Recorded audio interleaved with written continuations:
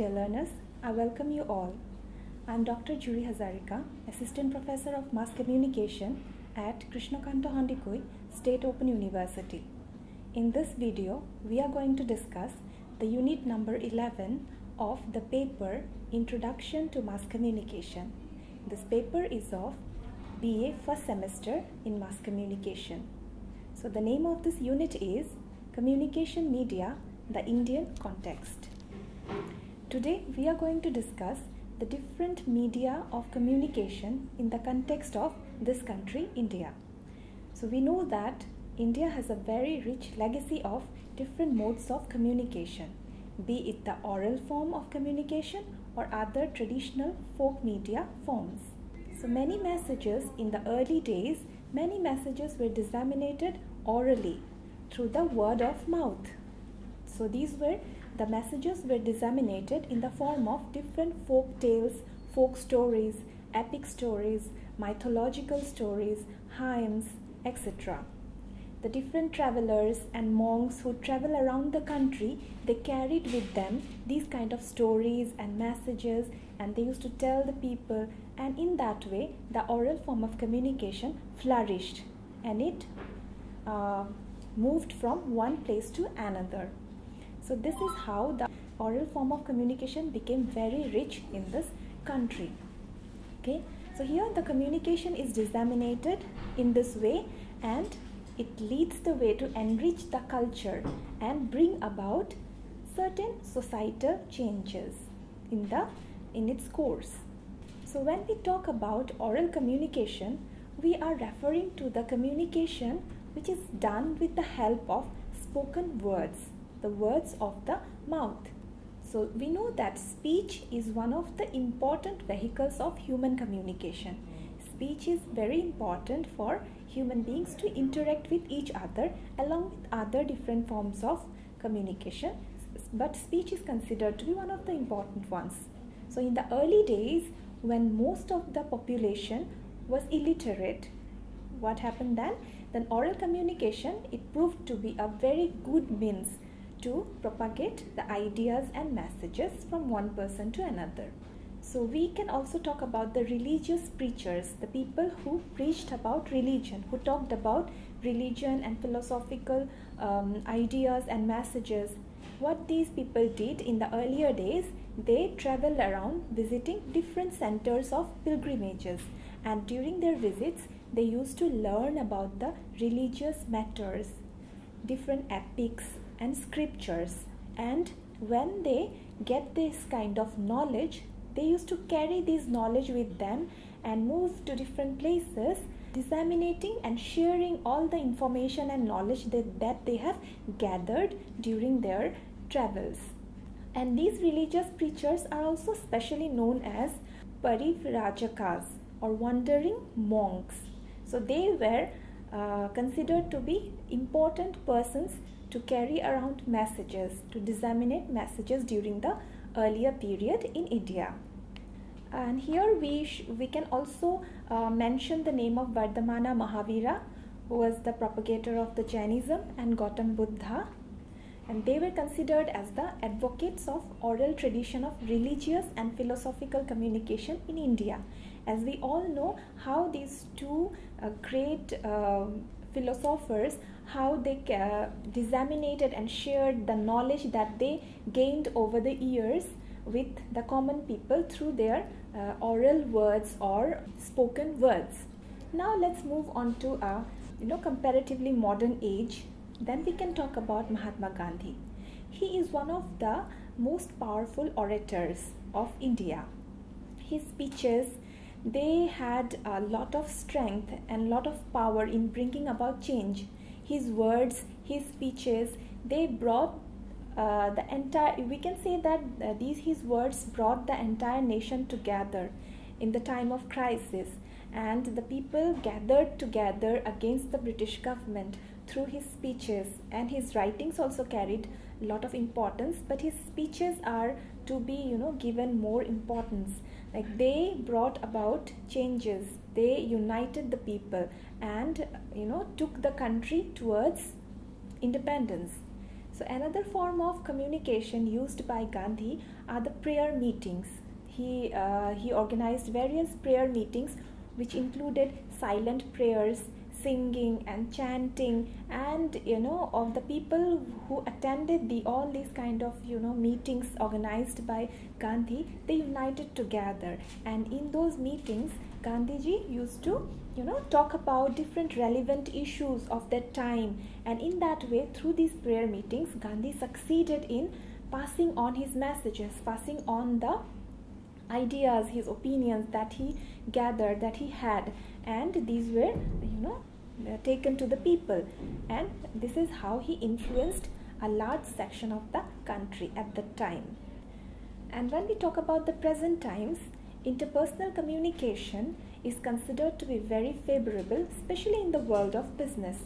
Uh, so far we have understood what interpersonal communication is. It is the communication that takes place between uh, two person or, or or a few more the commonly used forms of oral communication in an organization may include the staff meetings that take place, which, uh, which happens uh, mostly between uh, 8 to 10 people, then personal discussions that happen in an in a official setup, the presentations, the informal conversations, all this comes under you know interpersonal communication. It is and it is one of the important oral communication in the especially in the business world and in any other uh, business setups.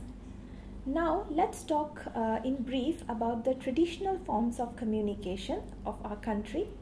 It mostly refers to the, when we say traditional media, it, we are mostly talking about the performing arts which are also the cultural symbols of a particular community or of the people of the land okay?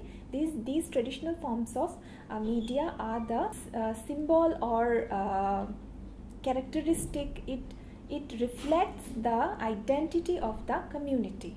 So here we can cite some exa examples of traditional folk media uh, that are folk songs folk dance forms dramatic performances. Uh, if we talk about the dramatic performances we can mention about bhauna of assam it is a form of dramatic performance of mythological stories and stories from different epics through song and dance. Traditional folk media is not confined to just song and dance. We must know that traditional folk media also include oral literature or verbal art in the form of storytelling, narratives. Okay, they also include art and craft the things that people do with their hands. They create different kind of arts and crafts. And here we can talk about uh, the making of different masks which is called uh, mukha in Assamese. It is a very rich tradition very rich craft of this particular land. Then traditional media forms originated as people needed some media. They needed some platform to express themselves okay? And in that way traditional media developed. So these forms are that's why very close to the heart of the people. And these form of media they gradually change with the time okay? For example the inclusion of latest incidents in some folk songs. So here we can mention about the bihu songs of assam. These bihu songs they as they gradually uh, as the time gradually changes these bihu songs they include the recent happenings that are going around in the world. And in that way these bihu songs act as you know mode of communication to take these important messages to the people through the uh, songs. In the year 1972 the international planned parenthood federation and unesco they organized a series of meetings on the integrated use of folk media and mass media in family planning and communication programs. So from here we can talk about the use of traditional media forms for different purposes, especially for the purpose of development activities. Let's move ahead with this particular issue. The traditional forms of street play, uh, which is commonly called as Nukkad Natak, they gained popularity during, especially during the Kargil conflict as what happened during this that period when Kargil conflict was going on these plays these uh, Nukkad Nataks they uh, took various incidents and issues and the uh, stories of sacrifices which uh, in, which was involved in the conflict and uh, plays were made on these themes and plays were performed around the uh, streets of various states like Orissa, Madhya Pradesh, etc. And people were informed about the issues involved with the war, and people people were made aware in that way by these street plays. So this is how we know that traditional forms of media uh, bring societal change, bring awareness, inform people okay in that way they uh, perform various roles in the society so broadly traditional forms of communication in, in india can be divided into folk theatre folk songs narrative forms religious discourses and puppet shows so puppetry is a very common form of communication in India. Uh, most of us we know about puppetry, and I think most of you have also witnessed some of the puppet shows. It is very interesting to know that this is a very ancient form of communication. Puppet shows are performed mostly in the village gatherings where people gather, like uh, village melas, uh, village fairs, and puppet shows are also performed in the schools school playgrounds to mm, you know their main objective here is to uh, bring about uh, to carry uh, various uh, messages and to disseminate those messages among the village folk or among the school children and since puppet shows are very interesting and entertaining the dissemination of messages becomes very easy. And this, these kind of uh, shows and these kind of traditional folk media forms are very much close to the heart of the people.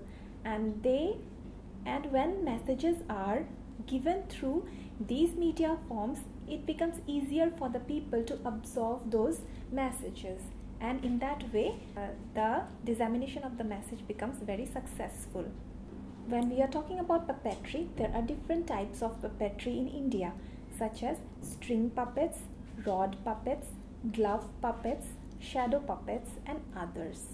Okay, uh, string puppets I think it is the most common one. Strings are attached to where dolls and uh, the uh, person, the puppeteer, he controls the puppets with the help of those strings. In the rod puppet, a rod is attached to the puppets and in that way they are handled. In the context of glove puppets, uh, the puppets are made in the form of gloves and the puppeteer wears the glove and uh, does his performance and in the case of shadow puppets uh, the performance is done with the help of shadows the shadows that fall uh, with the use of here the use of light and shadow is uh, can be uh, seen now let's move on and uh, let's talk about some of the instances of the use of traditional media for the development of rural areas as we talk about the use of traditional folk forms uh, for the development of the society uh, in the development communication. So the Indian government it took various steps uh, in the recent uh, years uh, to use traditional folk media for development communication. In 1954, the Indian government established the Songs and Drama Division under the Ministry of Information and Broadcasting and their main objective was to utilize all these forms of traditional folk media for development communication purposes. So here uh, mention can be made of uh, one Ravi Verma who is a very well-known theatre personality. Uh, he had been dealing with uh, various social issues such as alcoholism, pollution, class and caste inequalities, so on and so forth. And he and his group they come up with various uh, performances uh, about these social issues and they try to create awareness uh, in the society through the use of traditional folk media forms, especially uh, through the use of uh, street theatre. So one of the very noteworthy street play done by his group is Hame Jawab Chahiye which was performed in 1985 and it was made on the issue of Bhopal gas tragedy. Here they tried to address this this particular issue and how it hampered the society and though it has been a long time since the tragedy happened how it is still affecting the people and especially children of that area so this is how traditional folk media can bring about awareness in the society again uh, there are another instances like the use of folk songs uh, which played very important role in the movements called Chipko and Apiko movements. Here what happened, the folk performers, the folk singers, they composed many folk songs on these issues. They, they uh, designed their lyrics on these particular issues and these songs became very popular in the um, with time and they were carried around uh, various areas and the messages of Chipko movement and Apiko movement, these messages were disseminated to various other corners of the country.